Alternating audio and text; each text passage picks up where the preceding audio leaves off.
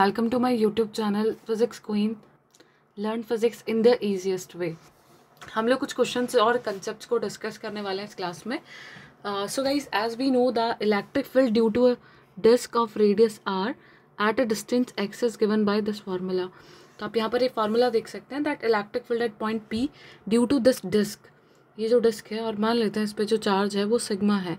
Surface charge density seven to you sigma तो इस disc की वजह से जो एक्सेस है, उस एक्सेस पे एक्स डिस्टेंस पे जो इलेक्ट्रिक फ़ील्ड होगा that is sigma by two epsilon nought one minus X upon root X square plus R square ये वैल्यू हमें पता है। अब यहाँ से कितने टाइप के क्वेश्चंस बन सकते हैं वो देखिए।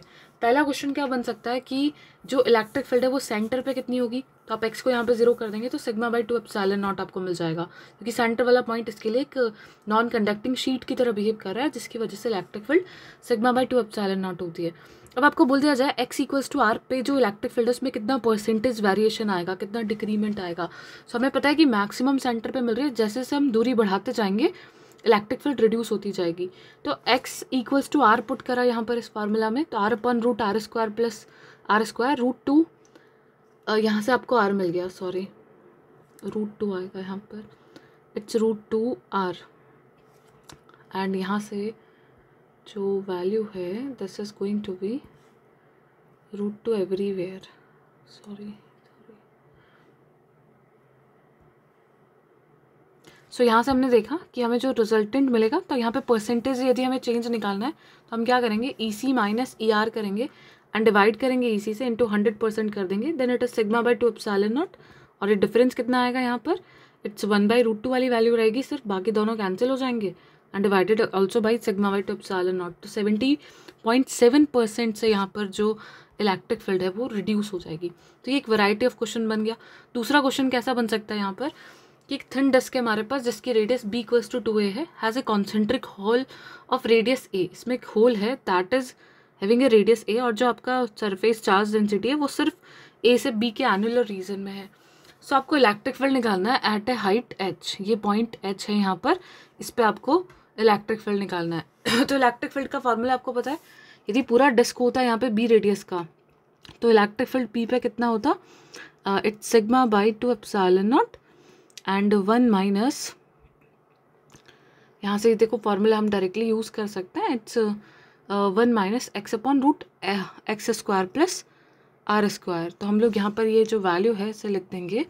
It's sigma by two epsilon nought one minus H upon root B square plus H square this is electric field due to disc of radius B complete radius की यदि डिस्क होती यहाँ पर बी रेडियस की तो ये electric field होता। Similarly हम इलेक्ट्रिक फ़ील्ड निकाल सकते हैं due to disc of radius A कि यदि रेडियस ए की हमारे पास एक डिस्क होती तो इलेक्ट्रिक फ़ील्ड पी पे कितना होता? Sigma by two epsilon nought one minus H upon root A square plus H square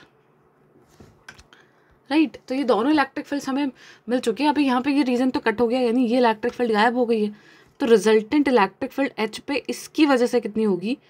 इस पे ई पी वन बोल देते हैं, इसको ई पी टू बोल देते हैं। तो ई पी वन में से यदि हम ई पी टू को माइनस कर दें, है ना देन इलेक्ट्रिक फ़ील्ड जो हमारे पास जो होल क्रिएट हुआ है, इसकी वजह से कितनी हो जाएगी? इसमें से माइनस कर देंगे इसे। So it's sigma by two epsilon nought and one minus अभी यहाँ पे आपको कंडीशन पे गिवन है कि जो हाइट है that is very very less than a तो एच जो होगा वो बहुत छोटा होगा बी के कंपैरेटिवली भी, क्योंकि बी जो है वो खुद टू ए के इक्वल है। तो यहाँ पर हम डायरेक्टली क्या कर सकते हैं, इसको इग्नोर कर सकते हैं। तो यहाँ से हम लिख देंगे one minus h by b से लिख सकते हैं। और यहाँ से ये यह आपको मिल जाएगा minus sigma by two epsilon naught one minus h by a because we have considered कि जो एच है वो बहुत छोटा है ए के कंपैरेटिवली भी और बी के कंपैरेटिवली भी क्वेश्चन में गिवन है। यदि नहीं गिवन होता तो आप प्रॉपर आंसर यहाँ पे फाइंड आउट करेंगे। बट गिवन है तो हम अप्रॉक्सीमेशन यहाँ पर लगा सकते हैं। देन हम डायरेक्टली डिस्क में से हमने जो होल है, उसकी इलेक्ट्रिक फ़ील्ड को माइनस कर दिया।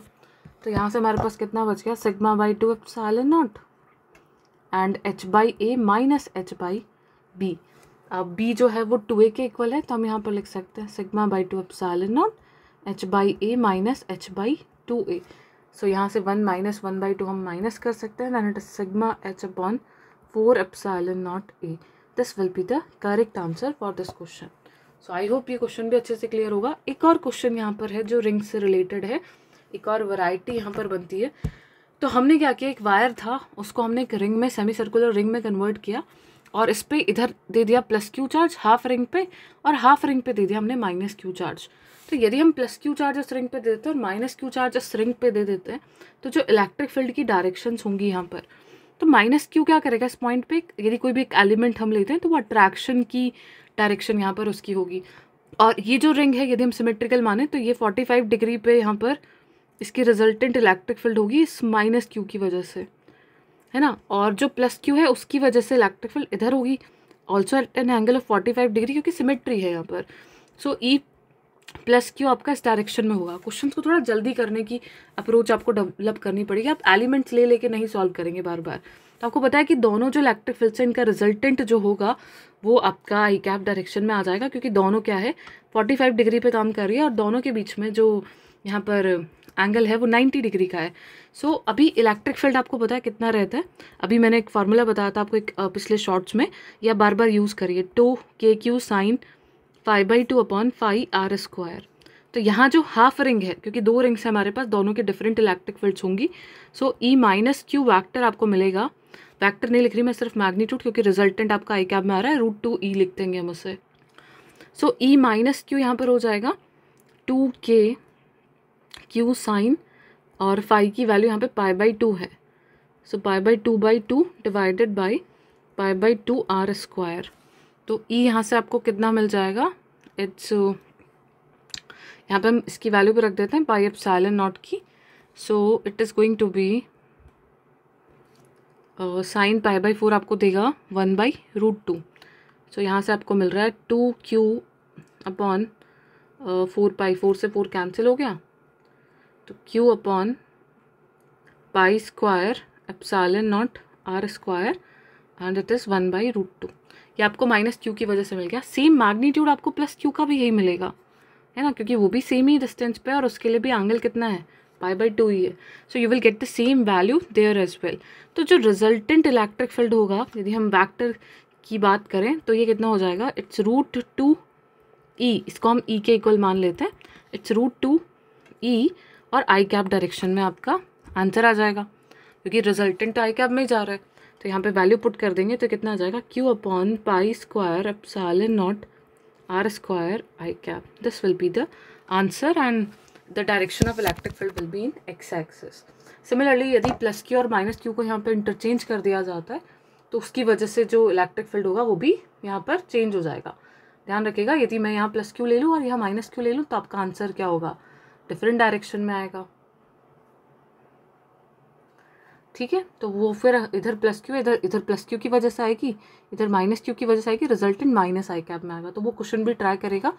और ये जो फार्मूला याद रखिए, इस बार बार यूज़ होगा रिंग के क्वेश्चन में। डायरेक्टली आपको यदि पाई पता है तो आप लोग आंसर्स निकाल पाएँगे। एंड डायरेक्शन का स्पेशली ध्यान रखें क्योंकि वैक्टर क्वांटिटी है। सो फाइनल आंसर हमें कितना मिल गया यहाँ पर? रिजल्टेंट रूट टू ई का।